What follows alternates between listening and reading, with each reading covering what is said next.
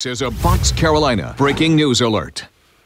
And we're learning new details on that Amber Alert out of the Atlanta area. This is a look at one year old Blaze Barnett. His parents tell our sister station out of Atlanta that they were loading one baby out of their car around 1 o'clock this morning.